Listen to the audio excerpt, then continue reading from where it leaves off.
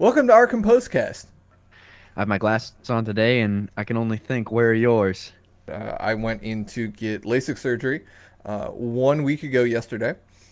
When your code hard codes your upstream to pull from, and those those upstreams have their certificates expired, your you know your your clients are kind of screwed at that point. And this episode may feel a little rushed today. It's because we are under a personal time constraint.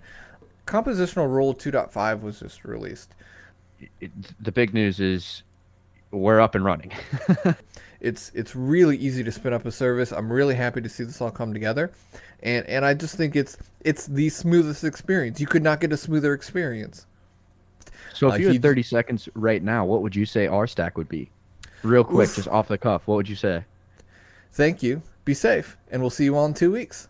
Bye, everybody.